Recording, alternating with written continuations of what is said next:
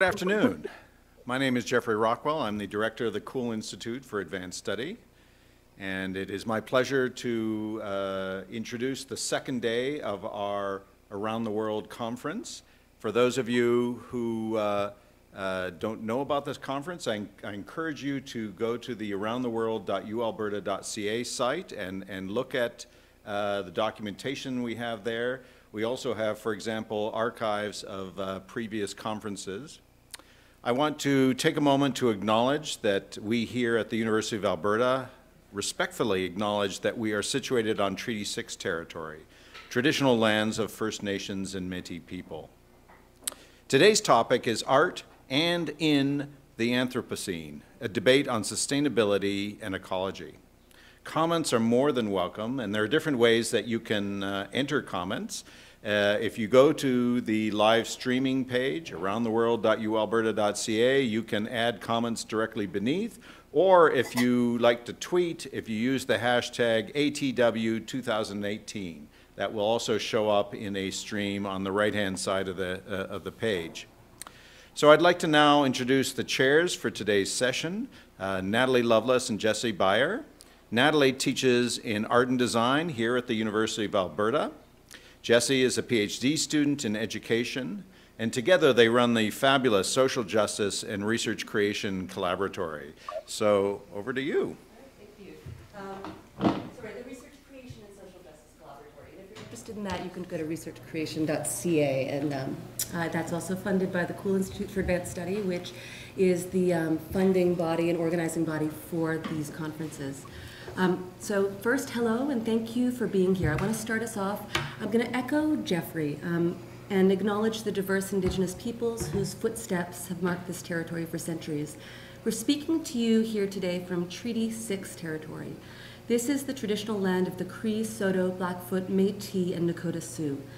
Now, I'm echoing what Geoffrey said because to take the time to make treaty and land acknowledgments is not only polite, it's not only a way of acknowledging my settler and visitor status here, but it's politically urgent and necessary to any gathering that's attentive to social and ecological justice in times of unprecedented settler colonial petrocapital genocide, which is indeed the way that we think on this panel of the times that we're living in today. So we're privileged to be thinking together today from across many territories.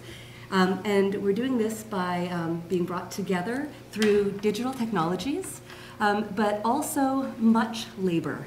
Um, labor by the organizers, Geoffrey Rockwell and Chelsea Mia, Oliver Rossier, and Adam Dombra Dombovari, and also the technical wizards that are making this possible, uh, Claire Peters and Grant Wong. Today, Jessie and I look forward to introducing you to six artists who are working on ecological issues. After a short six minute video, um, we are going to share the questions that we posed to our artists in advance of this session. Um, and I want to say just one thing about the way that we posed these questions. So we didn't just invite artists who were in a kind of proof of concept way um, in alignment with our perspectives. Instead, we started off by choosing six artists who we were genuinely curious about and invested in and interested in. Um, and then we formed questions that matter to us and shared those with these artists. So what we'd like is to hold a rich and invested discussion with the artists and with you. Um, and while you're listening, please take notes on terms or concepts or ideas that you're not familiar with, nodes of curiosity or interest that you want to speak more about and bring those back at the end into the discussion that we have. And what we'd like to do, instead of having a set of um, uh, artistic experts here sharing their work um, to whom we can pose questions, though we could do that, we'd also like to hold a rich and invested kind of roundtable-ish discussion and let that conversation go um, wherever it needs to go. So um, with that said, I think we'll pass over to the introductory video. Yeah, yeah. yeah. I think we're ready for. Yes, so cue video.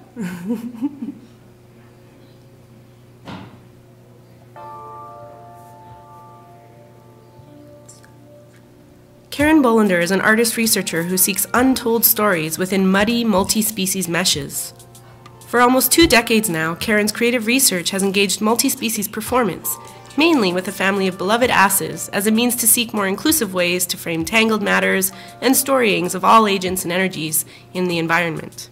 As principal investigator of the Rural Alchemy Workshop, also known as RAW, she explores dirty words and entangled wisdoms of earthly bodies through performance, writing, video, and sound. In the company of she asses, Alias, and Passenger, and a far flung herd of collaborators, the Rural Alchemy Workshop cultivates interspecies forays like Raw Ass Milk Soap, the She-Ha Transhuman series, Gut Sounds Lullaby, and the unnaming of Alias. In both long ass journeys and barnyard homemakings, various projects investigate tangled questions and ethical conundrums that flow through and across generations of bodies, mother and other tongues and care practices, to question how we might perform wider cares and attentions to vital, unseen relations in ever shifting ecologies.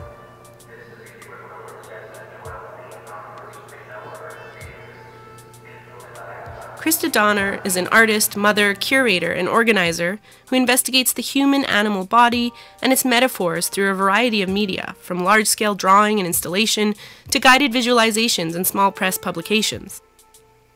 Her practice often incorporates social exchange and collaboration rooted in personal narrative and sensory experience.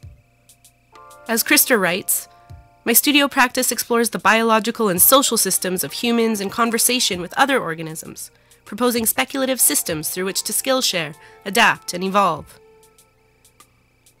She also considers her experience as a mother and an educator as highly relevant to her artistic practice. For instance, as she engages with young people, she finds her time horizons greatly expanded, offering a deeper connection both to the past and to many possible futures. As such, she aims to activate such time travel more broadly and intentionally as an entry point toward confronting the realities of climate breakdown as well as finding a way forward.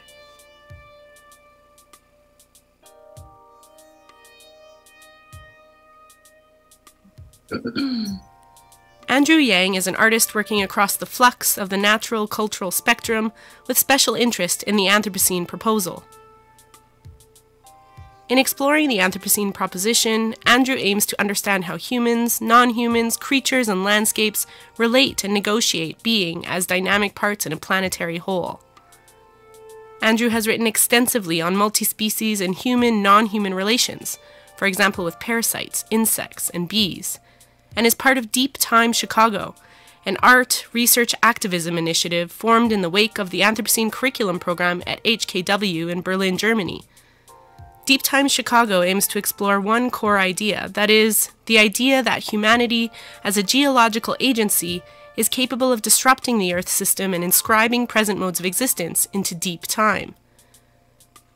By knitting together group readings, guided walks, lectures, panels, screenings, performances, publications, and exhibitions, Deep Time Chicago develops public research trajectories wherein Chicago area inhabitants might grapple with the crucial questions of global ecological change.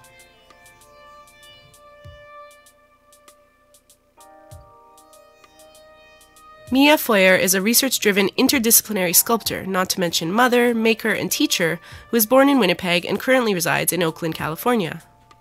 Mia is interested in the post natural landscape, that is, the visible sites where human interaction, be it personal, social, political, or financial, has altered or is in the process of rapidly changing the land, and thus our relationship to it.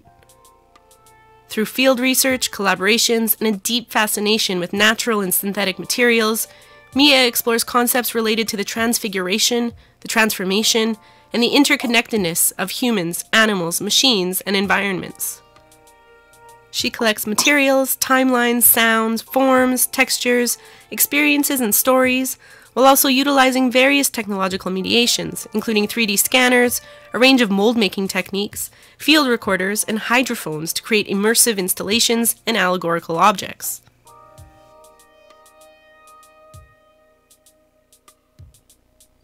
Leanne Olson is a photo based artist born in Toronto and raised in Edmonton. Olson's artistic practice centers on documenting impermanence and adaptation to changing environmental conditions.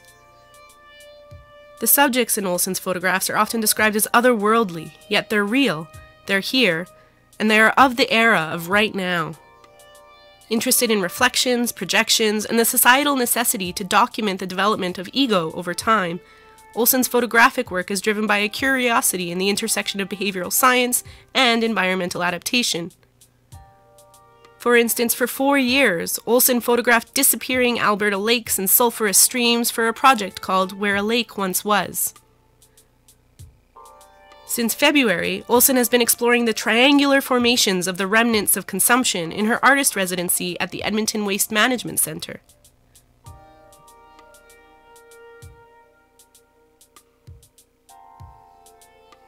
Scott Smallwood is a sound artist, composer, and performer who creates works inspired by discovered sonic textures and forms through a practice of listening, field recording, and improvisation.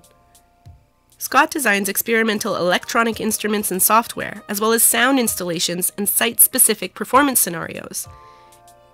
He also performs as one half of the laptop electronic duo Evidence with Stephen Moore, and has performed with many other collaborators, both human and non human, over the years. Through these collaborations, Scott's artistic practice has dealt with an intense consideration of his own lived in soundscape and reflections on this sense of place as it relates to environmental, political, and personal emotional factors. The very nature of documenting his life and travels through sound has caused him to reflect intensely on the content and form of these sounds. So many are laced with high density noise associated with the technologies of our lives. Indeed, hiss and hum are everywhere.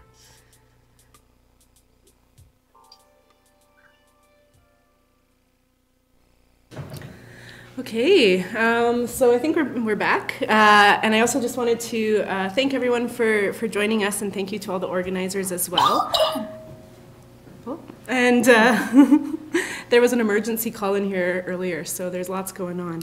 Um, so uh, when Natalie and I started uh, discussing the potential for this panel on art and performance in relation to the conference theme, we really wanted to include artists, researchers who engage with the idea of ecology or sustainable research uh, in very diverse, perhaps even unexpected ways.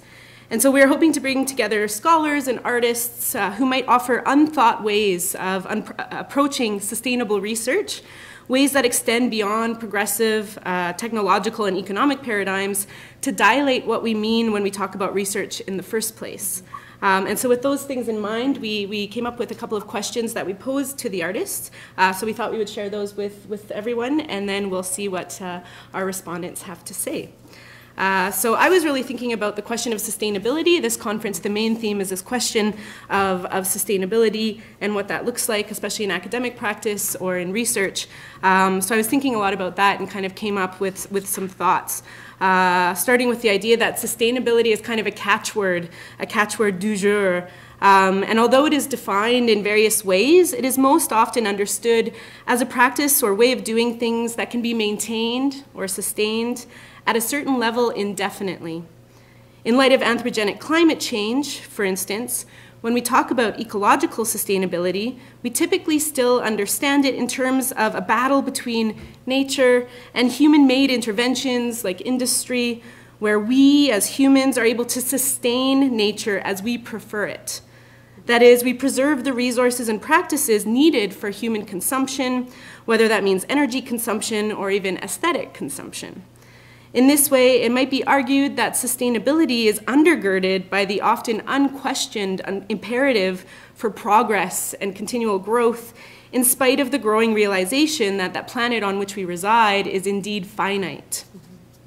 So, with that in mind, uh, I was thinking about, you know, when we talk about sustainability, what is it that we hope to sustain? And that's really the big question that I have. What are we hoping to sustain? And further, how might we redefine and reimagine sustainability beyond anthropocentric desires or desires for us, you know, for humans, towards more livable futures for all?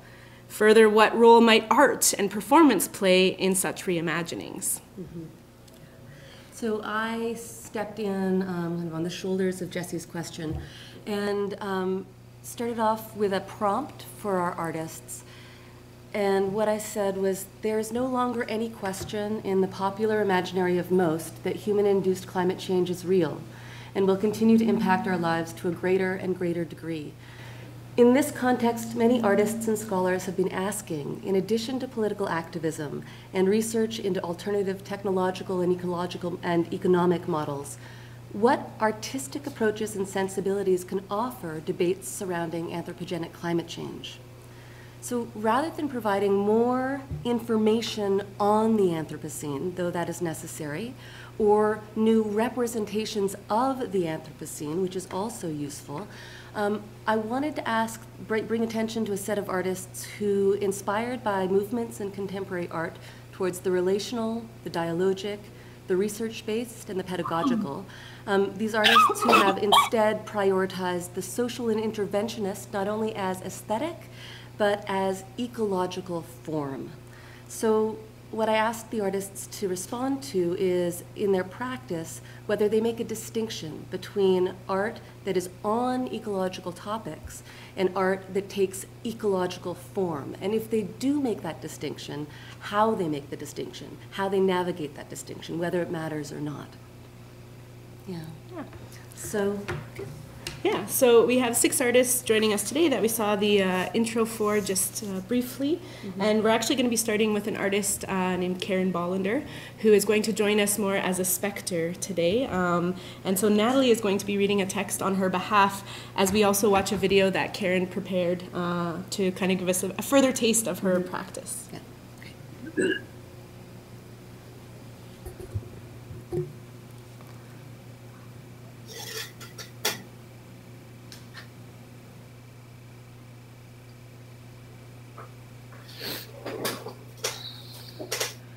I am excited to be here today in spectral form and grateful to Natalie and Jessie for inviting me to participate from the periphery. My rural internet connection is too slow to beam me live. Even so, from the small ass farm where I live with a multi species family in the U.S. Pacific Northwest, I'm excited to share a short video which illustrates certain ways that the Rural Alchemy Workshop, or RAW, practices and practices and explores questions posed in today's panel. Borrowing Donna Haraway's loaded question, whom and what do I touch when I touch my dog? This barnyard bound performance practice for the past 16 years has investigated the question, who and what do I kiss when I kiss my ass? With the caveat that one's ass is never what one thinks it is. And of course, the gift of this question resides in the fact that there is no one simple or respectful way to answer it as such. What matters is the practice of asking it, over and over again, in loving respect, humble wonder, slow deliberation, and in every way imaginable, and then some. Grounded in webs of care, desire, uncertainty, and fraught complexities of cross species intimacies, the video illustrates aspects of the raw practice I draw from to address important questions posed by this wonderful panel, beginning with what is it that we hope to sustain? As I was pondering this question in the context of today's discussion, the final passage from Cormac McCarthy's post apocalyptic novel, The Road, came to mind. Actually, the last word, which is mystery. In case you haven't read it or don't remember it exactly, the passage goes like this Once there were brook trout in the streams in the mountains.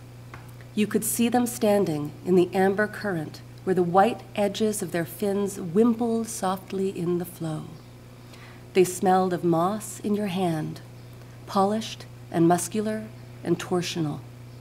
On their backs were vermiculate patterns that were maps of the world in its becoming, maps and mazes of a thing which could not be put back, not be made right again. In the deep glens where they lived, all things were older than man, and they hummed of mystery. The sense of what the earth has lost because of human extractions and overblown hungers is profound and gut wrenching, but also, in the midst of this stark evocation of loss, I find shimmers of hope in the last line, the last word, because the mystery, old as it is, is always here. So if I had to narrow my response to a word, what do I want my practice and worldly actions to sustain? What I call up is this mystery. We are aware of devastated practices and devastated earthly places where untold lives have been plundered and erased or pushed to the edges of extinction by human activities and effluence. But even in these places, mystery survives, because enmeshed in lives are always full and untold stories and unreckoned possibilities. Reckoning with the so called Anthropocene demands a humility in a variety of forms. Art provides vital tools for honoring what we cannot know by empirical means or grasp at all. Embracing indeterminacy, performance in particular makes spaces in which to cultivate humility and various kinds of joyful unknowing and passionate wonder. By the same token, such spaces may actively resist dominant and often devastating assumptions of growth and progress.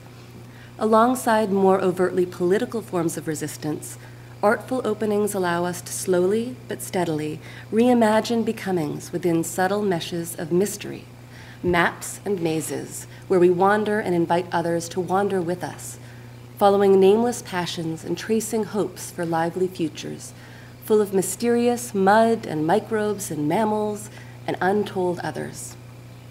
I am immensely grateful to all of those artists, critics, and others who've cultivated practical spaces that allow artists to fully embody, explore, and live messily inside the frames of our deepest questions, quandaries, and passions. Guided by these practices and theories, I can both creatively and critically dwell inside of what Natalie calls ecologies of care in the raw barnyard. In the logic of art that formally embraces complex interconnection and care, in order to do purposeful and responsible imagining within specific nature cultures, it's all ecological. I most admire situated but widely expansive art practices that resonate with Deborah Bird Rose's observation that ecologies may not just be more complex than we think they are, quote, they may be more complex than we can think, end quote. I would call the Rural Alchemy Workshop an ecological art practice, not because it considers multi species matters, but rather because, more than anything else, it questions the wisdom and value of making certain distinctions between forms of life versus the value of sustained attention to interdependencies. Creative practices seek and often find ways of new thinking and perceiving. What is most exciting to me is when we find unforeseen modes of becoming right in our own backyards, in our own entangled bodies and beloved muzzle tongues. Thank you all. From Karin Bolender. Yeah. awesome. Yeah. So, Okay. So yeah, I think our next uh, our next respondents are coming to us from Chicago today. Um, so we're going to pass it over to uh, Christa Donner, who will then be followed by Andrew Yang. Yeah. So that's a tough act to follow. I'm not going to be quite as poetic as Karin, but um, I'm a very pragmatic kind of, um, but I don't know. I don't know what kind of speaker I am. Um, so I'm going to try to answer both of these questions briefly and, you know, whatever. Um, so in terms of defining sustainability, uh, I don't know. I'm hoping that we can find ways to sustain life with as little fear and suffering as possible. um, I mean this in the sense of interconnected ecosystems, but the human part of any ecosystem obviously complicates things because humans tend to be a pretty aggressive and invasive species.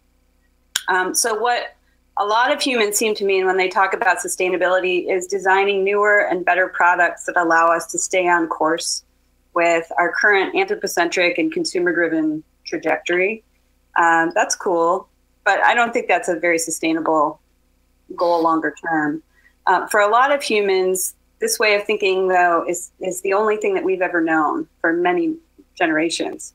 So, because of that, it can be really hard to imagine something beyond that, outside of that. And that's where I think art comes in, right? Um, so, to move forward, I think that two of our most critical resources are care and creative thinking. Creative thinking is what artists do, and we can play many roles in reimagining and redefining sustainability. Um, a lot of the panelists today are, are making and living this in really interesting and playful ways. Um, if we can visualize many possible futures outside of what we're what we're sort of stuck in and used to, uh, then then we can work together with other communities and other disciplines to maybe find steps to get there. the care part that I mentioned uh, also connects to your other question about representing ecological content versus a more embodied ecological form.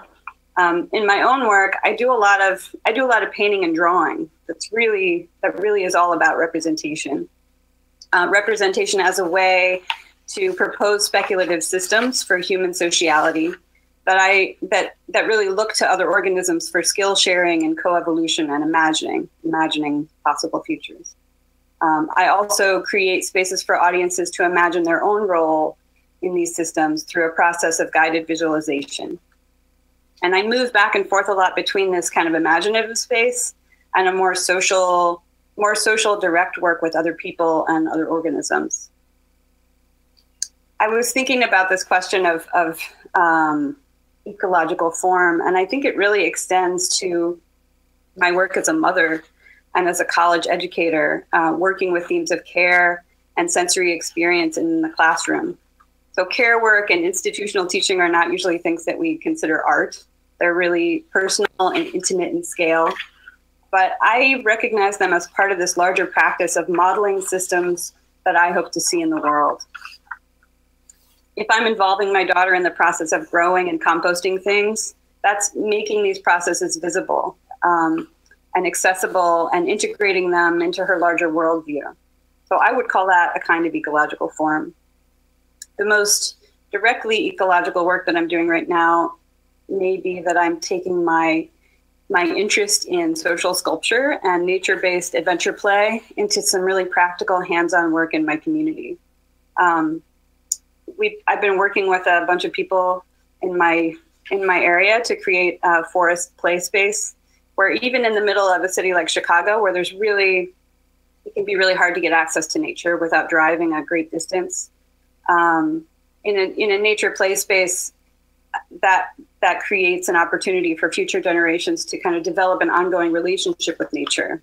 And of course, by fostering that kind of relationship, we hope that these really potent um, sensory memories will be created. Sticking your hands in the dirt, interacting with a snake or an insect, that could lead some of them to become future stewards of the environment um, and so on. So that kind of ecological form really feeds back into my more speculative and studio-based practice and and vice versa. So I think of that, I don't think of it so much as a distinction, but as a cycle. That's it. Awesome. Thank you so much for sharing, Christa. Uh, I think we'll pass it back over uh, to the the other screen to see uh, what Andrew has to say next. Great. Okay, uh, I'm going to try to show some slides with this. Um, let me see if I can manage to do that with this screen share really quickly.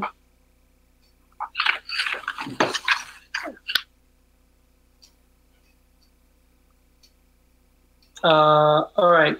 Um, can you can you all see some images? Yes. An image, a slide. Yep. Great. um, I wanted to take up this question uh, of Natalie's. In your practice, do you make a distinction between art that is on ecological topics and art that takes ecological form? And if so, how do you make and navigate this distinction? So um, I just want to say I hope you write a book about this, Natalie. I think it's a really great topic. Um, that could be expanded really greatly. And so um, I just want to say that in general, uh, often, yes, I think this distinction about on ecological topics and taking ecological form is apparent in my work, although I really wish it weren't.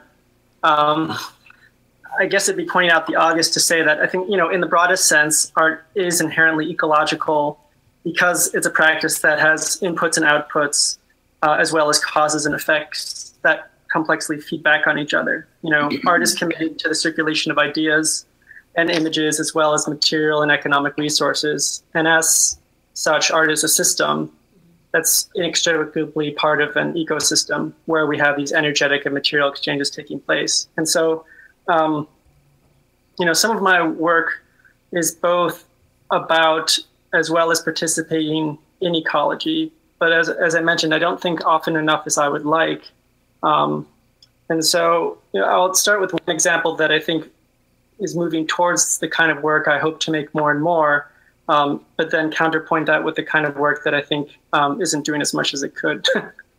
and so, um, in a project like Flying Gardens of Maybe, which I've been doing since um, 2012, material circulation and transformation are really part of both the conceptual and the, the practical core.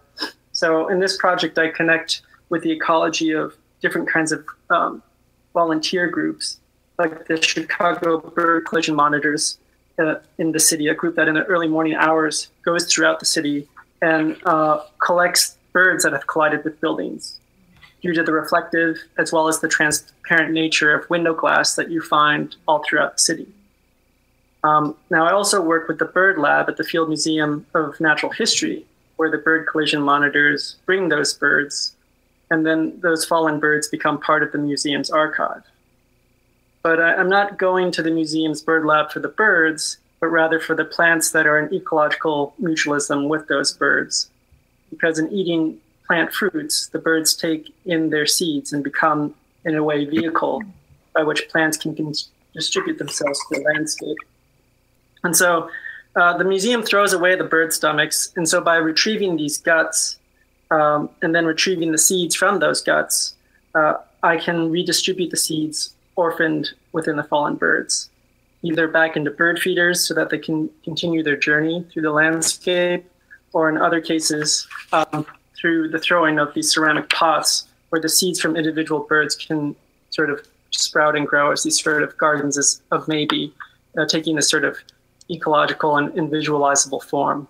So, I mean, in this way, I would, I would argue that at least the project aspires to participating in the rerouting of this sort of ecology of interruptions that happen in all of these different ways between the, the natural and the cultural here, between the birds and the plants, between the thing that seems obvious like the bird and the thing that's less obvious but just as important um, with the seeds.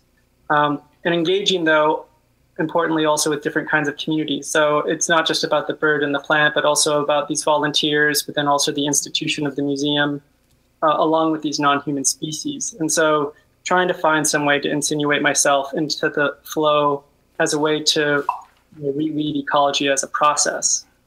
Um, so it's through engaging materials specifically uh, and the mm-hmm. process of movement and transformation that I see this distinction of ecological form as opposed to a work that's just sort of about ecology.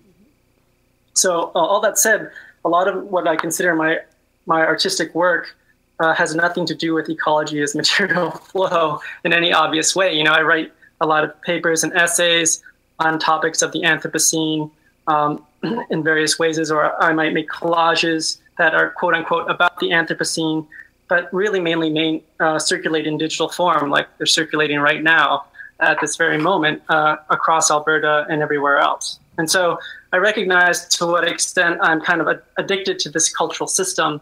And I kind of want to find some guidance, I think, through other people's art practices to, to find my way out of this. Um, I mean, on the face of it, digital text, image, and sound is intangible and informational. It seems cybernetic, but not really ecological because it doesn't have any uh, clear material or energetic impact. But of course, every PDF and JPEG really does have this impact, right? Um, the other thing about what I was saying about work that's about ecology but doesn't embrace form is that uh, all of this digital work, I mean, the conversation I'm having now, of course, is also embracing ecological form, but it's screened off. You know, the computer screen screens off all of the cheap electricity generated by nuclear fossil fuel power um, that makes these impacts hidden you know, I was just thinking about this like 2016 study by Lawrence Livermore Laboratories that, that argued that the average American's internet uh, usage annually produces about 300 pounds of carbon dioxide, or about as much as burning 15 gallons of gas or 57 liters of gas would burn. And so it seems like internet usage doesn't actually have that much of an impact. But if anything is true in the Anthropocene, it's the fact that small increments manifest themselves in these large and looming ways. And the question is like, how do you make that sort of tangible and visible and physical to oneself? Um, because even though that, that internet usage in the US only takes up 2% of US's uh, electricity use, that's about the equivalent of the output of like eight nuclear power plants or, or twice of the twice the electricity that all the solar panels in the US actually even produce. And so that's why I was kind of interested in this around the world conference model in general, you know, that you actually take into account the energetic materiality, uh, the material flows of things that are, are often screened off in our culture, right? That we don't really take into account um, that academic travel, the conference travel, these things um, remain in the space of the, the non-ecological form of the immaterial. And I think this conference is really important in sort of drawing out um, a real, uh, the real physical and energetic consequences of that kind of um, knowledge making. And so, in closing with that too, I just want to say, um, you know, traditionally part of one of the prom- prompts and the question was this idea of aesthetic form versus ecological form. And so, certainly, like traditionally, aesthetics is understood to be something about judgments concerning formal properties of artworks, right? Comparison, composition, sense of space, narrative structure. Um, that's all couched, of course, in art history art historical comparisons and, and traditions of mediums like painting or, or, sculpture. And so, in that regard, the aesthetic as we typically use it obviously boils down to kind of connoisseurship.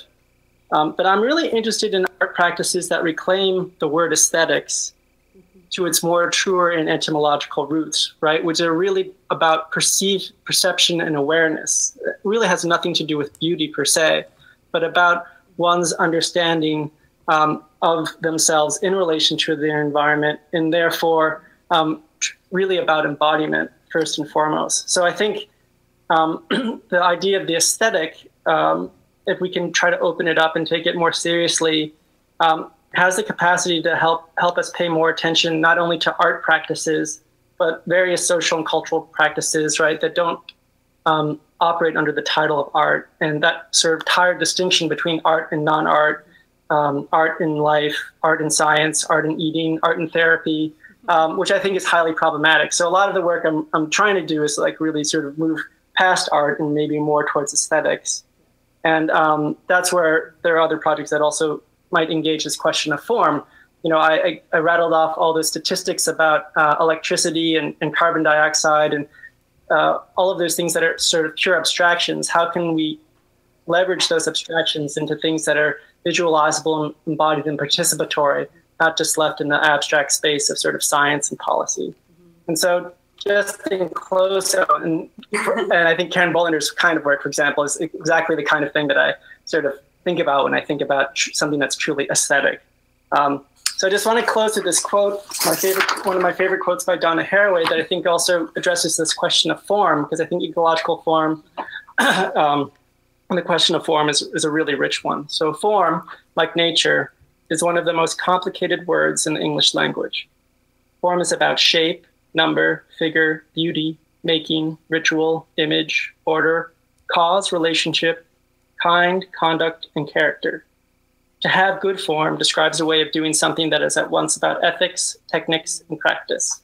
And so, um, yeah, that's what I wanted to talk about. Thank you. Awesome. Thank you. So many things already. Um, and we still have uh, three more artists to talk with. So we're going to pass it over now to Mia Feuer, who is joining us from uh, California, from Oakland, California. Okay, I also have to figure out the screen share. Let's see.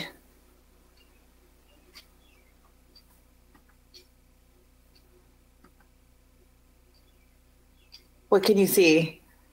You. You can see, can, can you see green crystals? No. oh. Oh no.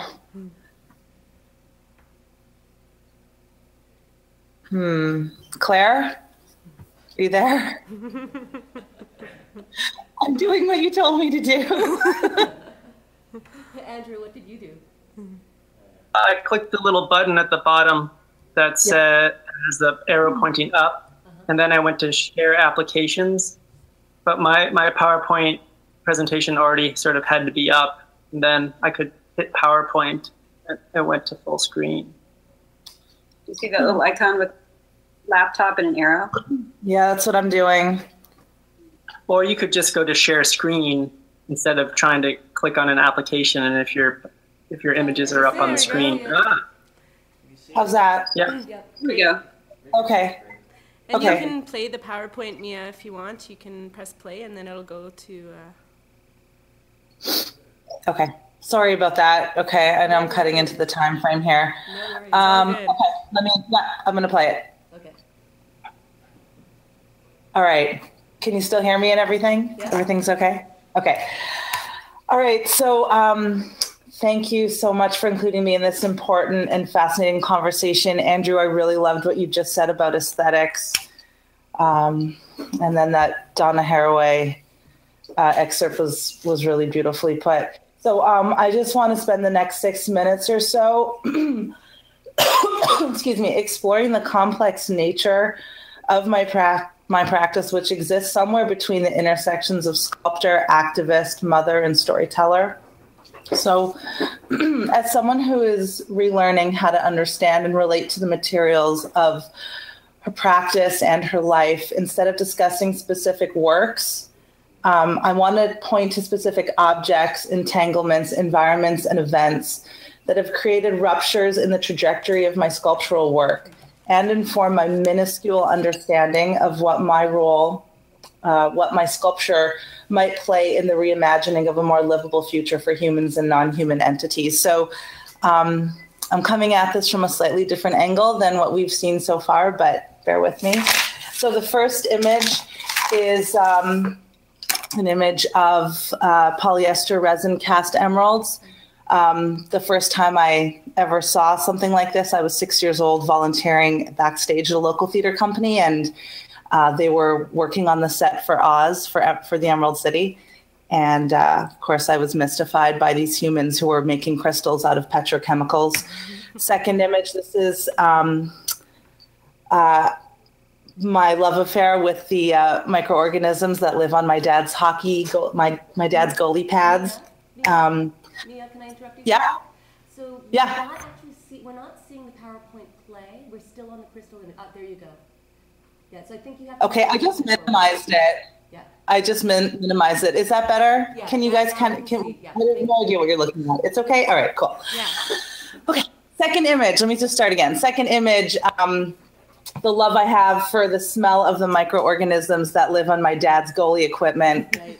The soggy cardboard boxes that I collected with a bunch of Palestinian kids in Hebron and brought it through an Israeli checkpoint in order to build a puppet theater.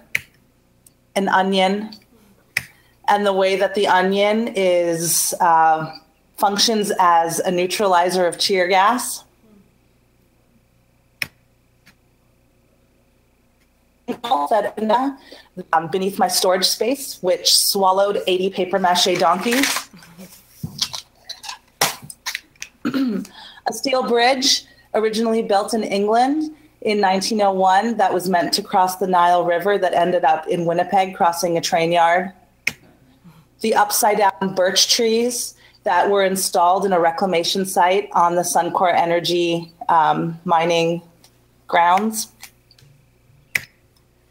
The Global Seed Vault in Svalbard in Longyearbyen a roll of tar paper that I found um, in Longyearbyen while I was participating in an arts and science residency uh, sailing the Arctic. And the dog sled that I made out of the tar paper and other bits of petroleum trash that washed up on the shores of Arctic fjords. And the sea ice that would float by, and the turquoise glow that would emanate from the sea ice. Our captain would tell us that the more ancient the sea ice, the more brilliant it would glow turquoise. And a 3D model, excuse me, a 3D model that I made um, uh, off the coast of Louisiana in Bayou Pointe-Chene uh, while working with um, the federally unrecognized uh, Indian tribe of the Biloxi Chitimacha Choctaw, who uh, whose land is sinking into uh, or being swallowed by the Gulf of Mexico due to sea level rise. This piece of land that I captured is now underwater. Um, and an image of a 3D model of the uh, Nodosaur, which was discovered in 2011 in the Suncor Energy um, tar pits while a miner noticed a diamond pattern in his um, in his shovel while he was digging into the muck. Um, and what is really interesting me about what, what I'm fascinated by by this this image is the fact that the museum will not release the 3D model of this uh, of this specimen to me because they don't want it represented in an artwork, which I think is really puzzling. The microbiome of mealworms and how they're able to digest styrofoam. The jewel vault uh, in the basement of the Federal Bank of Tehran the number 402. So in 2016, um, the amount of carbon dioxide in the Earth's atmosphere exceeded 402 parts per million. And that was also the same year my baby was born. And this is my baby who is as obsessed and fascinated with the Anthropocene as I am.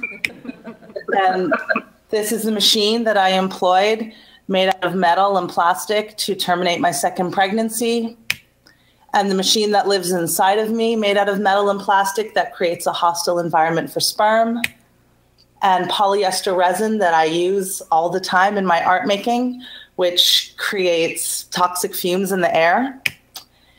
And while I was using it every day, just recently um, creating toxic fumes in the immediate air around my house, um, the air in the entire region was unbreathable due to the unprecedented wildfires in Napa County, Napa Valley, and Sonoma County.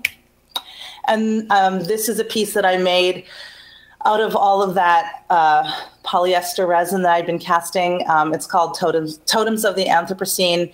And um, other materials besides the polyester resin include found vessels that formerly contained petroleum and found sleds. And uh, I guess I'm just going to close with this final image, uh, which is also my first image um, that I guess bookends my 30 year uh, fascination uh, with petrochemicals used in my artistic practice. Um, they initially seduced me and have led me on a 30 year sculptural trajectory fraught with conflict, contradiction, carcinogenic fumes, alchemy, and wonder. So, um, thank you. Thank you. Awesome. So this, uh, I'm, I'm finding this format really interesting because in normal conference spaces, we actually acknowledge each speaker. And then the clapping also not only gives us a chance to say thank you, but it gives a chance for the kind of scene to be reset as the next person steps up. Yeah. Um, so now I, I've done that with my voice, and then we'll pass over to Leanne. Yeah. Thank you. Hi, thank you for having me. Oh, is that okay? Yeah. Um, okay, so I am replying to question one. Um, so in that question, uh, we're thinking about sustainability as maintaining, um, as a way of, to me that means staying the same and that allure of timelessness that I think is sold so much in the world. Um, and so what I'm finding is that yet what's happening in every moment is change, aging, adjustment, adaptation. Um, but I think these are narratives that are uh, neglected as they don't sell. So I'm just going to start moving my slides. Okay, so um, right now I'm at the Edmonton Waste Management site as a artist in residence.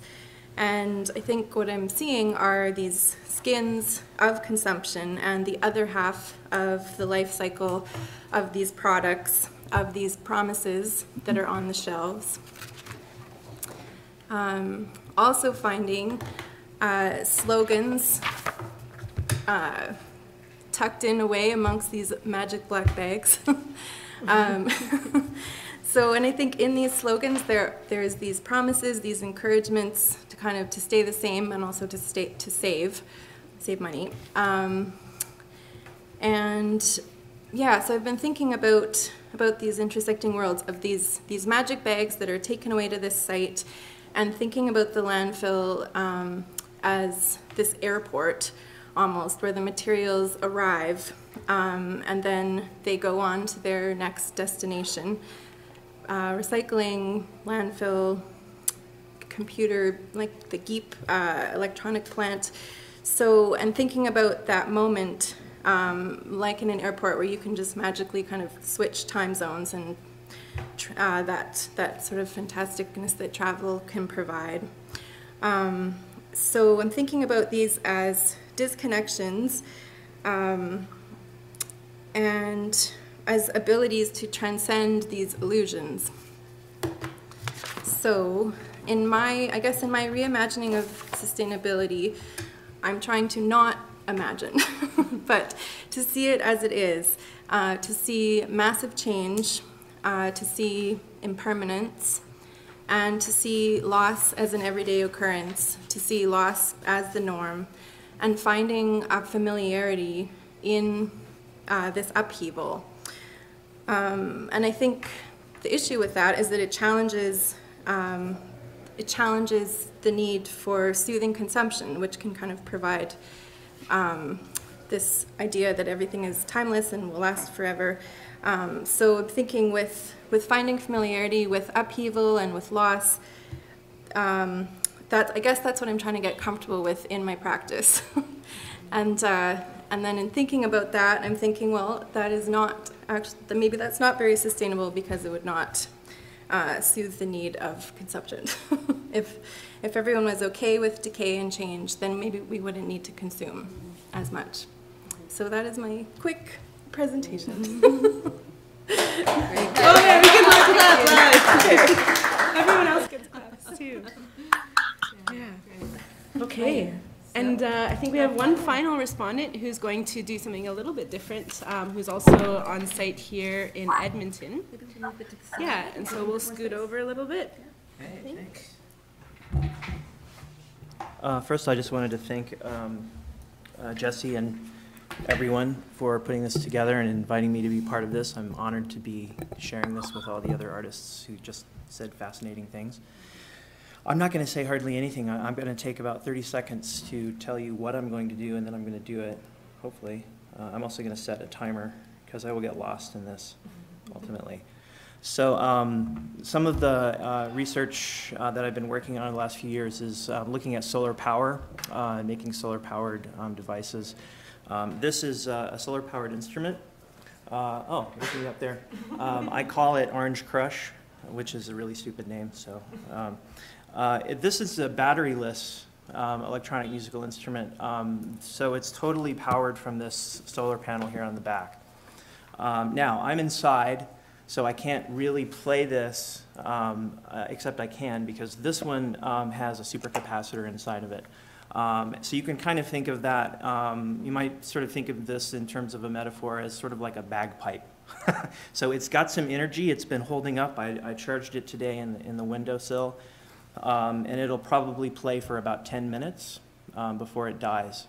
Uh, and uh, so I'm gonna, of course, I'll go for six minutes. My alarm will go off. Um, it might, it might die before that. Who knows? So here we go. Um, uh, this is a lo-fi performance, um, and it's to probably sound especially lo-fi to uh, those uh, online. So we'll just see what happens here.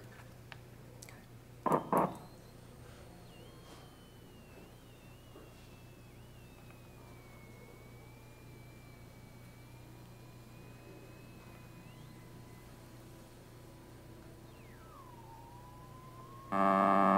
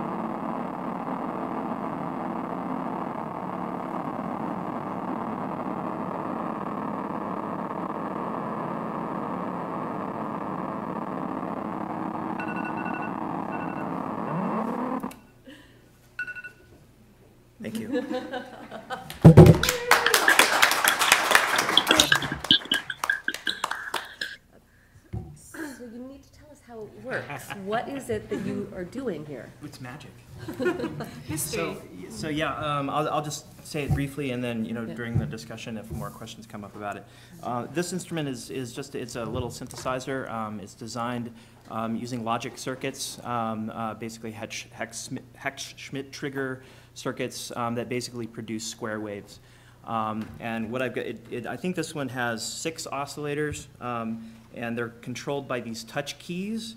So uh, I have four available here, two of which have frequencies that are controlled by these little photosensors here, so the, basically the amount of light in the room, and the other two are controlled by these knobs here. So those four oscillators are what I can control from these touch sensors, and depending on how I press, um, I'm also obviously kind of covering up the photocell, so I'm doing a lot of different things with my hands, and I'm mostly just feeling and trying to make really small micro movements in order to, um, in this case, I was creating something that was somewhat drony, I guess.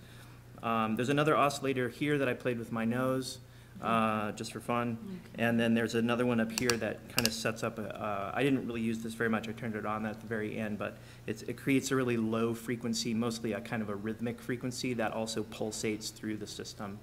Um, and that's basically it. There's a volume knob, there's a power switch, and uh, there's also two blue LEDs that light up here when, when the device is fully charged. So you can see I've already, I've already dissipated it down so that those are no longer um, uh, lit. It actually is still working, but it's getting, it's slowly, the charge is slowly going down. The supercapacitors that charge this are not like batteries because they dissipate um, linearly. The, the voltage actually goes down like this instead of like this with the battery. So there's a lot of challenges to using them. Uh, but, uh, and obviously they don't last as long as batteries in terms of the amount of power that they hold, but they last longer than batteries in terms of their ecological um, uh, life, I suppose. Uh, the, this, this device hopefully will, will last for as long, at least my lifetime, if not longer, um, without ever having to have uh, any work done on it at all. So, um, anyway, Thank that's you. that. Sure. Um, So we do want to open up to kind of questions and a roundtable discussion from folks in the room, folks around the world, um, and, yeah, good. And I guess uh, maybe I'll start by just pointing out a few, and I don't know if you want to as well, a few of the kind of themes that, so that, I mean, thank you, all of you, um, thank you. Uh, It was a really rich um, and interesting set of interconnecting um, presentations. And some of, some of the things that I kind of pulled out um, that kind of echo through many of the presentations include this distinction between, um, that Christa brought up, kind of cycling through between representation, and this is how I wrote it, not, not your words, Christa, you can um, reframe in your own words, but between representation as a, a mode of showing that proposes speculative futures or speculative alternatives or systems, um, and the value of that um, way of thinking through representation and cycling between that and a kind of a modeling or an embodying process that you link to care work, um, care work located in the home, maternal care work, um, family care work, uh, and also institutional labor and the, the care work that we do in the teaching institutions that we inhabit. Um, and so the value also of modeling systems, and these are your words, that we hope to see in the world, or maybe they're not your words, but I wrote them down from what you said. Right, so this kind of, this kind of distinction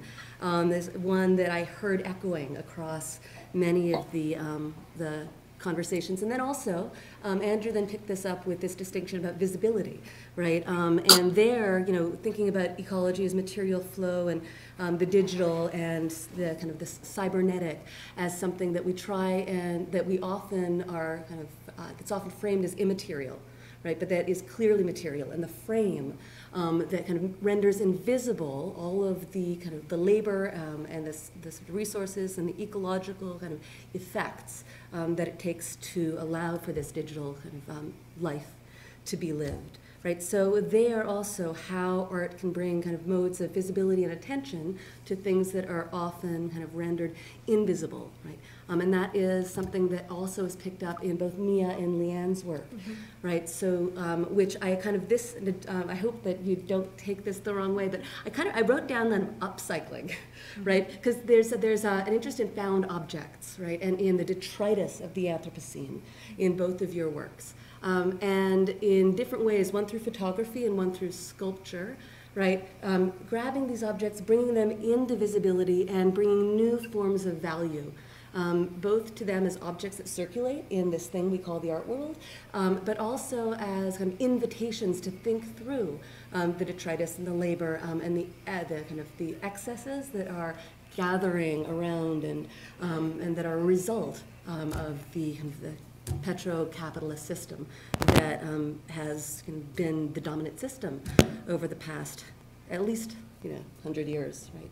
um, we can argue about the beginning, right? So, so th these kinds of um, themes, um, weaving through all of them, and then this last theme that I see kind of between um, Leanne, uh, Mia, and Scott, uh, in terms of the, the pull of objects. That also brings us back to Andrew's call for us to think through aesthesis, right, in its um, link to awareness and perception, but through that, it's not just awareness and perception, but in, of course, the material body right, through which we perceive, right, um, through which we access a world. Um, and so these, this pull of these objects, and both the pull of the objects in the Waste Management Center, and of course we talk about you, Kelly's work, and the, the, wonderful ways in which you're asking us to think about maintenance work and labor and care. Um, and then this object that you brought in here, where I thought at first, is this like a theremin? What's happening? Why is he putting his face down and up? What's it responding to, right? Um, but this like, object that talks back, right, that's dancing with your body. Um, and then, of course, kind of smell. It was Mia who brought up smell. Um, you know, the pull of smell, like the pull of sound, right? So in that, you know, there's also a kind of theme I see running through that has to do with kind of thinking about not to um, not to say that ocular centrism and uh, visualization techniques and the visual um, should be rejected, but in thinking through ecological form and sensory perception, being attentive to the relationship between ocular centrism and consumer capitalism, petrocultural, colonial um, world orders, right? Because the visible, right, and the kind of the language of perspectival distance that is attached to the visible, and especially is dominant in this world that we all inhabit called the art world, right? Um, there's something there that I see each of you questioning and challenging and playing with, um, but maybe that's just my bias, so I'll pass it over to you. Yeah. Yeah. Well, I don't know if anyone wants to respond to any of those thoughts or things that you noticed in those patterns that Natalie identified, or any other thoughts on those those things to start. Any of our panelists from afar? Oh, Mia's talking. Mia, I think Mia has one. Oh, but we can't hear her there. yeah, I probably I thought that um, that was a that was a really beautifully put response. Can you hear me? Okay. I can kind of hear myself. I'm going to turn down the Um, yeah, the, but yeah, thank you for sort of just uh, summarizing um, so eloquent, uh, eloquently. Yeah, I, yeah I, I, agree with a lot of what you just said.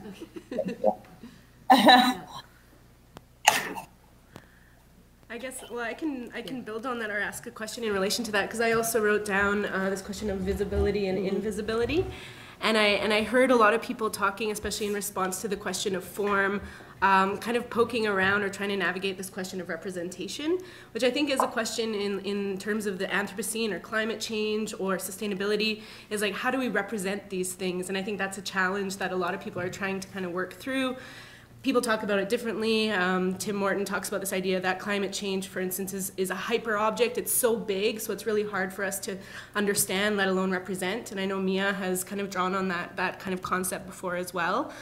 Um, and there's other people, including scientists and, and kind of social scientists, who note that even with more and more statistics that tell us, you know, about the impacts of climate change right now, let alone into the future, um, people still don't kind of respond to that in terms of kind of a representation of what's going on. And then there's also the whole kind of like denial of climate change. Mm-hmm. But Bruno Latour would argue that, you know, maybe we're all climate change deniers in some way because it really is hard for us to fathom the, the scale of these things.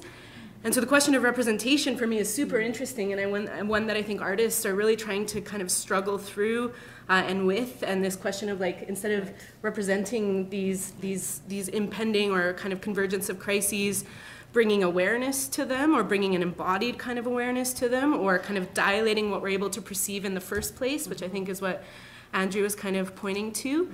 Uh, so that's how I was thinking about this idea of invisibility and visibility is like, can art offer this kind of yeah dilation of what's even possible to be thought. And Karin Bolender kind of quoted that as well this idea of like maybe we can't even think these things yet. Maybe we need new conceptual aesthetic tools to even be able to think uh, think about that.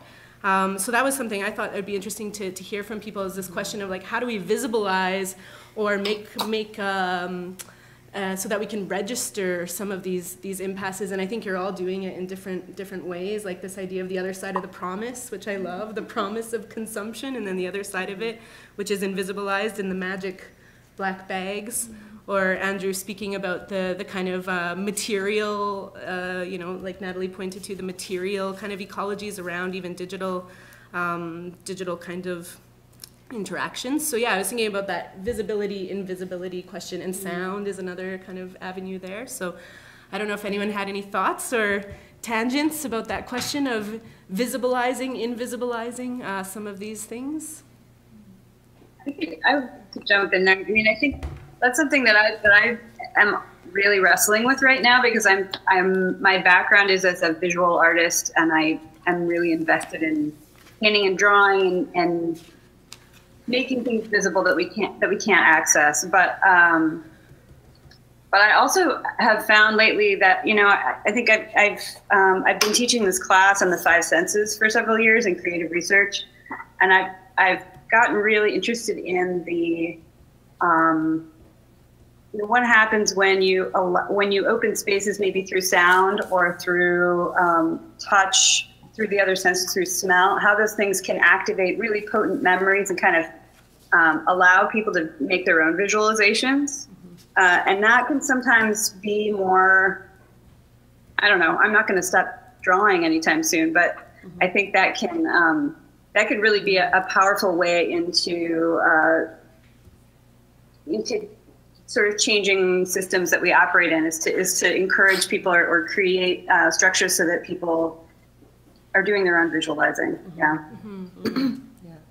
And I would say also, um, if it's okay, I also I, I'm teaching. As you were talking, I was just thinking about this class I'm teaching digital tools for sculptors, and the way that we're using 3D scanners and talking about how to uh, digitally preserve things that are disappearing um, in one of my slides was a chunk of land that is now underwater, forever gone. But I have this like weird 3D model of it that exists. And what does that mean? And who owns it? Also, like that is that land was owned.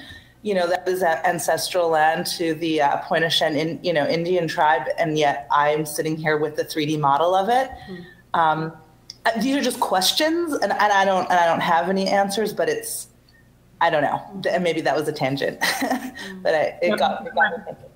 Maybe maybe you know I, I don't know a lot about the project but what struck me about that is, that project and you recreating this model is that um, maybe going back to the natalie's or both Jessie and natalie's ideas like yeah this i mean I, I, I sometimes wonder worry about the the visible invisible itself is also being this sort of oppositional thing. One thing that's in, interesting about the object you're creating is it's like it's quantitative, it's of this scanned abstract space, but then you make it this qualitative thing that actually fits potentially sounds like in the palm of one's hand, right?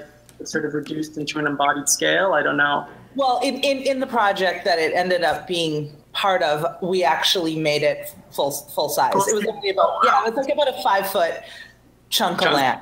Yeah. Um, but it can be scaled to, to fit in the palm of my hand. you know. I mean, I guess I, I, was just thinking about. I've been thinking about this yeah. idea about, um, you know, Thomas Nagel, the philosopher, has this idea of the view from nowhere, and the view from nowhere is sort of the scientific view. And I think that a, a film like the Charles and Ray Eames Powers of Ten really embodies that sort of visibility fixation on the visible, and you can you can go to the utter scale of outside of the galaxy to you know to the subatomic scale. But I think what's so interesting if you watch Powers of Ten is it starts at this couple picnicking in the in Grant Park in Chicago, but it either goes away from them or it, it zooms into them. You never spend any time with the couple in Grant Park mm. and the lawn, like all of this thing about what we consider the subjective, uh, subjective embodied experience is like erased and is made invisible for the sake of these different kinds of visibilities. And so I, I sometimes have been trying to think through this idea of like the view from nowhere sensibility as opposed to the view from now here, which might be like the subjective, the embodied, maybe the less ocular, optical um, thing. And, and how do you how do you hybridize them or synthesize them because I think they themselves are often played in opposition to each other. Like, oh, there's the intuitive, there's the intelligent, there's the qualitative, there's the quantitative, and I'm thinking about like what is the like in the Anthropocene, uh, maybe ecological form is a, is another way to say forms of complexity that like sort of don't just exceed our ability to understand them in terms of physical size, but also complexity, right? And so what I think with your projects, Mia, and I think uh, with the projects of, of Karin Bolender and these other photographs that Leanne's doing, I mean, I think what's interesting to me is like, could they represent or how, how do those, how could those develop into something that one could think of as like the aesthetics of the middle? you know, yeah. Isn't just, isn't just about the now, the nowhere, the now here, but the, the entangled mixture of them mm-hmm. and, and, and just embo- uh, embracing the fact that all of our knowledge is partial and, and making sense of that without diminishing it into some space of the partial being completely the personal, right, the emotional, uh, the whatever. That that the quantitative and the qualitative aspects can like sort of live together in, in some sort of aesthetic frame, as opposed to always be sort of um, put in opposition to each other. And so that's where I'm. That's kind of one of the thoughts I have for that is that it's like aesthetics of the middle that gets at that complexity. Yeah. Do Leanne or Scott want to jump in? Yeah. Revisible. I'll jump in and say something about the, the sort of invisibility, visible, invisible. Um, so uh, there's a I, I can't remember exactly what the what the quote is, but uh, it's a famous R. Murray Schafer quote. I hopefully everybody knows who that is. He's a, um, a Canadian um, theorist and composer who uh, uh, was the first person to theorize and write about soundscape as a concept. I think he may have even coined the term. But um, anyway, um, so I'm someone who does a lot of field recording, a lot of listening um, in my work. And uh, I remember reading this passage, um, uh, which was something along the lines of uh, I had a student, this is R. Schafer talking, I had a student once who played me a recording of a beautiful bird song. Um, and he was so proud of himself that he created this great recording. Um, and I asked him, What kind of bird is that? And the student said, I don't actually know. and R. Schafer said, Well, you should know, because the birds are proud of their voices. You should know about the bird that's making the sound. Um, and I, I, was really moved by that when I read it, uh, and it reminded me of an experience I had. Um, it was a long time ago now, but I think one of the things that planted the seed uh, in terms of being a bit concerned about the noise of, of kind of humanity and, and our, our technology. I looked out the window and I saw, um, I was in Baltimore, I think, and I saw a crow on a telephone wire, and I couldn't hear the crow, but I could see that it was trying to make sound. And I could see it really closely. I had a really good view of it, and the crow was just going like you could see like the tension in its muscles. It was it was trying so hard to make this sound. And I went outside then, and, and, sure enough, of course, it was just loud Baltimore, and this crow was just trying to speak over the noise. And it was the first time I think I'd ever had the kind of empathy for, for, for crows and animals in general and, and their, their, the difficulty in sounding their voices. Um, so I just wanted to say that. That was just a little, a little moment of, of clarity mm-hmm. for me. And I, I, think the result of that is, um, uh, I think it was uh, Karin in her, the first presentation talking about this idea of mystery. um, which is, is really spoke to me. Um, I, I, I use the term evidence, which is a, a name we've actually given a duo of mine uh, with, with Stephan Moore. We make, we make music with field recordings, and we think a lot about our experience listening and discovering and finding sounds and, and thinking about what those sounds mean. Sometimes we think in terms of evidence, evidence for something miraculous and mysterious that's happening. Um, and there's, there's so much in that sound uh, that, that tells a story, but also just provides a lot of open questions. Um, so anyway, that's a long-winded, that's just a bunch of stuff, so. We do have an audience question, but I don't Yeah. know if Leanne wants to respond first to Um, that. I just, I guess, yeah, a couple of thoughts. Just thinking about the aesthetics of the middle. Um, at the waste site, I've been just looking at how everything is formed there. So everything is a pile. So everything is a triangle, and there's so much beauty in this structure. Maybe beauty is not the right word, but just I've just been mesmerized by the structure of all the materials and how they kind of stay together. And uh, the middle is the place, the safest place in the pile. Um, but then thinking about at the top of the pile, like every day, um, I'm gonna go back to some of my images here because they're here. Um, every day, this pile that is it's called a tip floor where all the materials land. It's it goes it's every day it's it's taken away. It's it's removed. Um, but the top of the pile is the most unstable place. So I've been thinking about that in terms of um, of progress and growth and how we're always trying to go up. But then once you get up there, it doesn't last. so every day, just watching the pile fall from the top and fall, all the materials come down, but the middle kind of stays the same. Um, and then also thinking about what Mia was talking about, um, about care. So I guess sometimes I think with these long photo projects that I'm doing that maybe it's it is a mode of care, of being with these subjects or these um, environments that are changed or sort of ignored. Um, and spending time with the, their life cycle, their other half of the life cycle, that that's not as uh, I guess I would aesthetically pleasing. So um, yes, I've just been thinking about that. Am I caring for all of these objects or places? Um, yeah, I guess I'm. I feel yeah. I think I'm trying to have empathy. Maybe have empathy for what what this end of life cycle is. So Yeah. just some thoughts. Because perfect segue into the question. Yeah. Yeah, actually, Okay. the on Yeah. the the question of um, kind of the tip floor was it called? Oh, called? yeah. Um, and this kind of idea of growth, which I know we brought up several times throughout the the presentation. I think it's we have a really um, interesting question here from Howard Nye, uh, and I'll just kind of paraphrase it a little bit, but. Uh, they point to the idea that various participants have suggested, and including Natalie and I, that an important objective of ecological advocacy today should be the acceptance of a future without economic growth. And I would probably say that hopefully we were a bit more nuanced than that, but we were definitely poking at this idea of, of, of the imperative for growth, or the seeming imperative for growth uh, that's kind of undergirding this so called Anthropocene. Um, so the worry here from this, this respondent is that uh, this may involve a conflation between, on the first hand, uh, economic growth that involves a great deal of environmental destruction, which we currently have, and on the other hand, economic growth per se, which could in principle occur with drastically less environmental destruction. So I think the question is, is it economic growth you know, per se that is the problem, or is it economic growth related to these kind of extractivist environmental uh, destructive practices? I have lots of things to say about this, but I'd rather uh, start by opening it up to, um, I don't know, respondents. This question of growth, progress as it relates to economics, capitalism, um, we could talk about that as well. Anyone want to dive in first? I'll start. Um, yeah, I sometimes I think about this in terms of rather than thinking about growth, which always has seemed ever since I was a little kid, the idea of growth has always seemed like the wrong thing to be striving for, because in my little kid brain. all I could think of is, well, eventually it's going to be too big.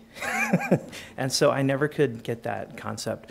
I, I, tend to think of it more along the lines of, of trying to wrap up a really important project. Um, and I hate to be I, I hate to be a downer, um, but I, I do tend to think, um, and I think I'm on pretty strong ground here, that the Earth is probably not going to last forever. There seems to be quite a bit of evidence to support that at this point.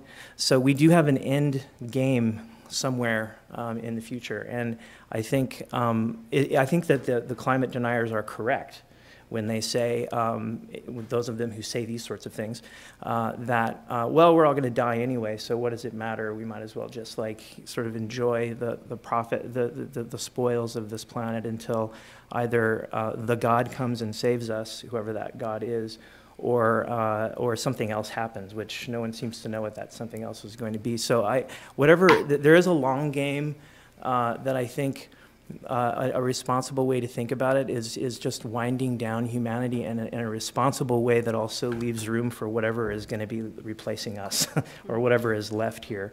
Um, some of that comes, I think, from experiences I've had um, working uh, with um, dead or dying artists um, and, and actually going through their legacy and preparing materials uh, that live beyond them. Things that we all think about as artists, is even, even when we don't like thinking about them or we, we don't want to admit that we think about it. But uh, I think about that a lot more now, having had that experience uh, of caring for someone who's about to die and making uh, very difficult decisions with that person and that person's family about what, what ephemeral things from that person's life need to be preserved and what don't, and what good does it do anyone anyway. and so I think a lot about that, and I'm starting to think that maybe like the human project is something uh, that, that we need to think about in that way. Uh, I don't know what that means, but that's, those are my, that's my first uh, respond, or uh, Christa or, or Mia or Andrew, any want to add in at this point, or it's okay if not, we can. I think that's a I think that's a fair observation. You know, I, I think that the question is um, isn't about just growth in any and any sort of absolute terms, but I think it has to do with with tempo, right, and pace. I mean, when something grows, uh, when something grows, it's often the pace of growth is matched by the pace of right um, death or recycling of materials. But the yeah, the extractivist model of growth is is really one that sort of is at a tempo that outstrips its its resources without replenishing those. I mean, eventually, all of the plastics and stuff we're burying in landfills right now will, you know, probably become coal and oil, but you'd have to wait several hundreds of millions of years, you know. And so that's the thing. It's like we've it took hundreds of millions of years to produce those petro uh, the, the, petroleum and, and, the coals, and we burned through it in 200 years with with no gesture to think about how to sustain. Back to Jessie's question, you know, sustain a growth that's cyclical, and that growth uh, is about maintaining, uh, right, the the collective body, as it were that, that takes into account the fact that things die back and other things can grow in its place in a sort of uh, ecology of things that, that isn't just about sort of uh, this very linear uh, waste economy. The extractive economy is all about the waste economy. It doesn't take into account what Leanne said, which is that we should embrace decay. Right? The decay is the thing that's regenerating the materials from which things can, can grow in the future, but we don't treat anything like that. We treat it purely as waste. So I, I agree with them. It's not completely about growth, but it's become synonymous. Extractive, you know, extractive capitalism has become a, synonymous with the way we think about growth today. But it's a weird kind of growth. Yeah, I mean, I think it's really difficult. You know, I'm not necessarily suggesting that we do away with all. I don't know. Maybe I am. um, I mean, I think it's really difficult to. I think it's really, it's really hard to imagine how uh, we can break out of these systems of sort of ex- extractive growth economies um, when we're working within like like capitalism is sort of currently just like so inextricably linked with sort of structural racism and structural sexism and and these these um, family structures and so many so many aspects of our society that I think um, to to think through how how to start over, how to you know like how to um, without the apocalypse. How do without you do the apocalypse? How do you do it without the apocalypse? Um, I mean, I think hopefully we can, right? But but I think unless we're thinking outside of that system or imagining outside that system, we can't uh, we can't make any real change. I think you know maybe one company can, right? Um, but but unless there's some, unless we're thinking outside the box, I'm not saying we have to completely decimate society to do that, right? But unless we're imagining things that don't rely on that system, you know, I don't know how we can move forward. Mm-hmm. Yeah, I think I'd love to jump in here. Um, and, and so, yeah, thank you for the question. I think that that's, it's great. And I think that my reading of um, each of the presentations, and certainly, you know, what, um, the perspective that I'm bringing forward is really the latter, right? Not, not the former. So the issue isn't economic growth per se, it's extractivist free market capitalism as the model of economic growth. And I think one distinction that is um, implicit in all of the work that's been presented, but that hasn't been kind of explicit, ex explicitly stated, is the commitment to anti-anthropocentric or multi-species worldviews, right? Because it is the anthropocentrism of the model of growth that is at issue for me, right? And that I think the artists that we brought together um, and, uh, and you know, the allies that we work with, um, this is one of the things that um, they, these artists are asking us to pay attention to through, as Christa said, um, mobilizing the power of art to speak speculatively, whether it's through speculative representation or speculative modeling of other worldviews, other possibilities that are beyond what is currently possible, right? So it's a different scale of modeling, right? Um, and so it's not just growth, but growth for whom, mm-hmm. right? Um, and what's important there, I think, for me, is the link between economy and ecology, right? The, the oikos, right, which is um, the home, right? And if we think of the home, right, not as the home for simply the patriarch, for simply the human, right, but um, an interwoven home for all, how does that shift notions of growth? From it shifts notions of growth, um, in, you know, first and foremost, uh, it shifts notions of growth into kind of uh, interrelated um, and uh, kind of complex ways of trying to account for who is living and dying when, right? And who is living and dying um, how. This is something that, of course, Donna Haraway asks us to think about.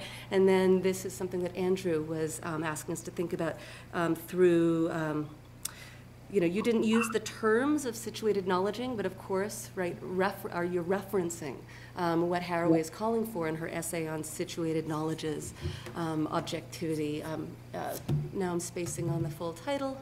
it's a little hot in here now, um, right? But situated knowledges as the is the you know the main title.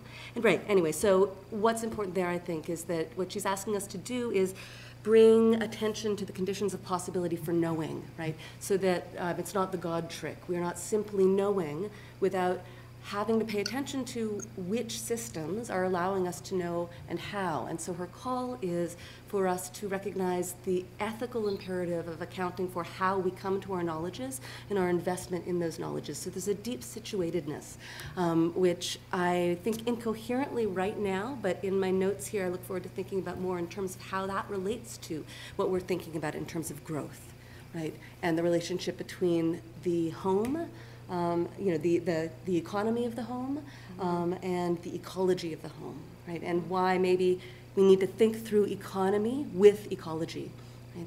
Um, right. Yeah, so. and, and I had very similar thoughts and was thinking about this, this question of growth in kind of two on two sides. One is the, the very kind of real material conditions that we live in, and we do live on a finite planet. And I think that, uh, at least in my mind, I often forget that because there's, I think we get trained into believing from when we're very young, and I'm an educator and who's someone who, who kind of works in schools and education systems, we get trained to think about ourselves in terms of these kind of progressive creatures that are getting faster, stronger, better, all of these things as we go along through life. Um, but perhaps it's much more nuanced in terms of how we grow or learn or, or kind of know things about the world. Um, so the kind of finite limits of the planet is my first response in terms of this question of growth, uh, especially if we're thinking about current kind of extractivist, or the way in which we extract value from the planet, um, and specifically from the land that we, we kind of occupy in this place we call Canada.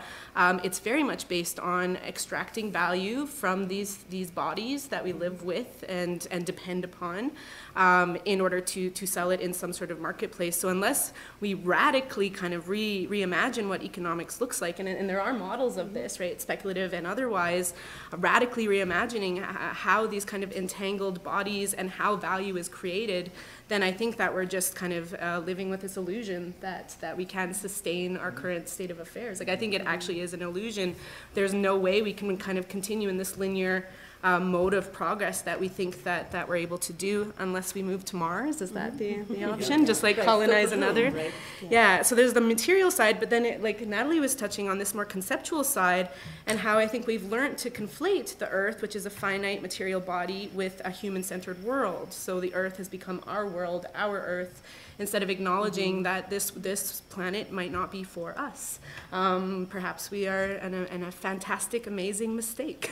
um, as much of these kind of evolutionary kind of processes come out of these aberrations or mutations, um, we've kind of become uh, dominions uh, we are able to dominate the, the earth but it is perhaps not for us and i know this is kind of a you know eugene thacker talks about it in, in terms of a cosmic pessimism maybe this is there you know this this world is not for us.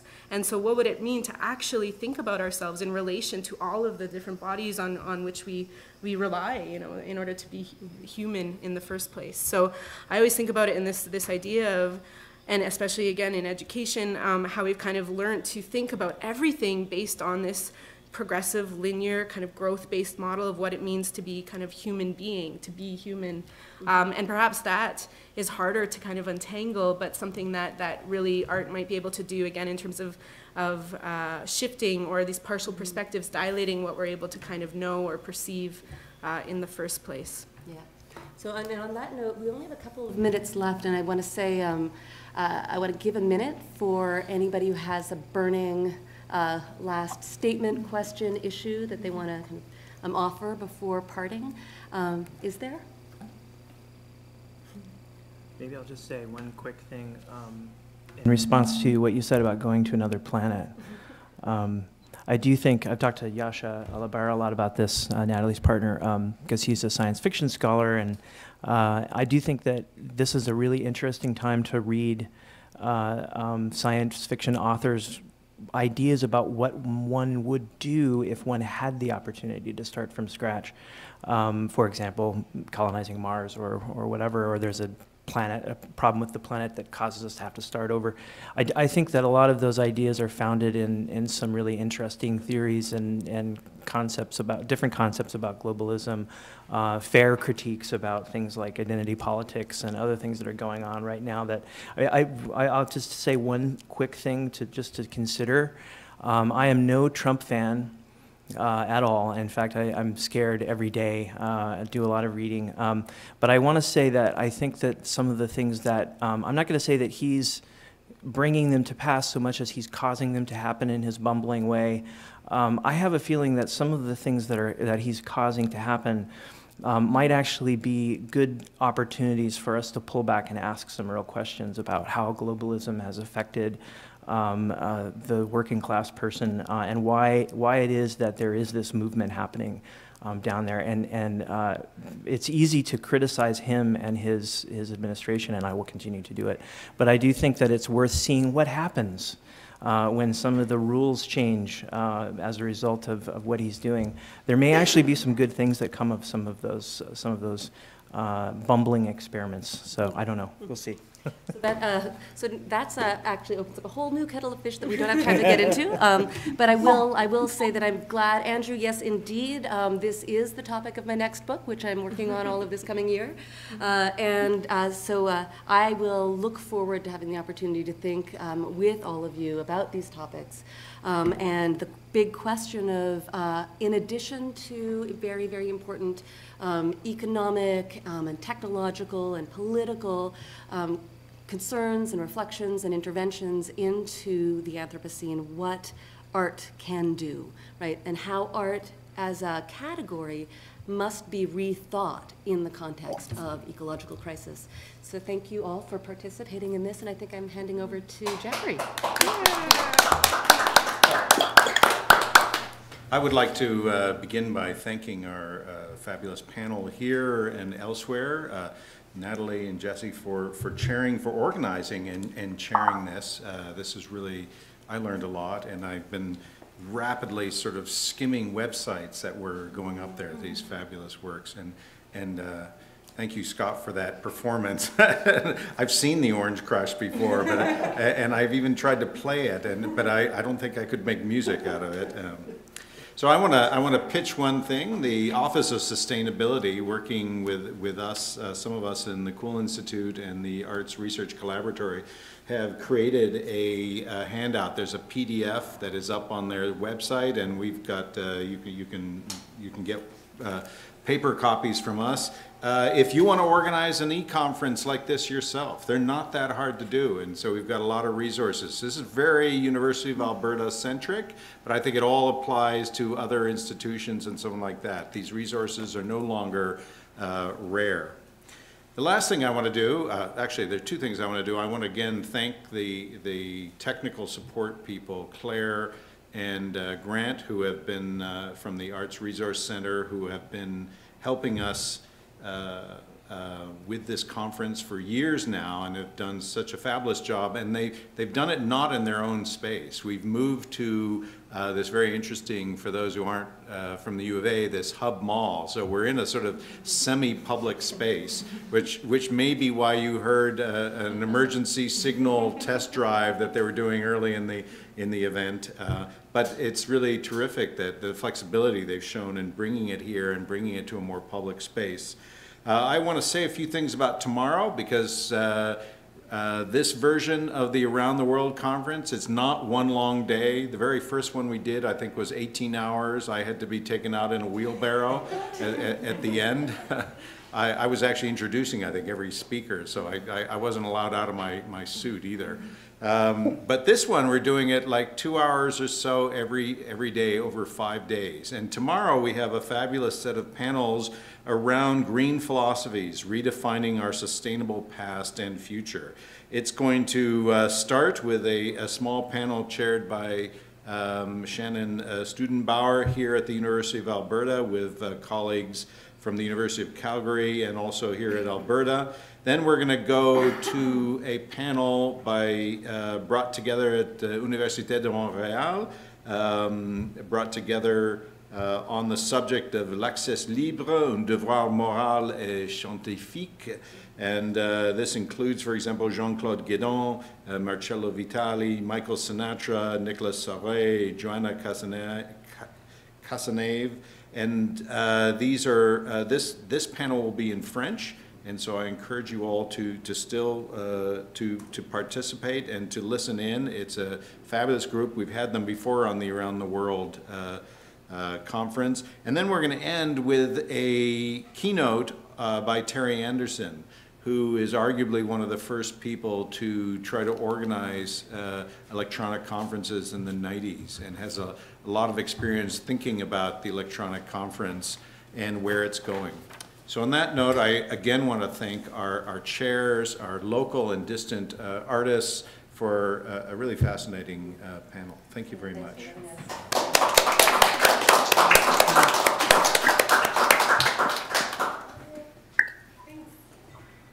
Thank you. Thank you.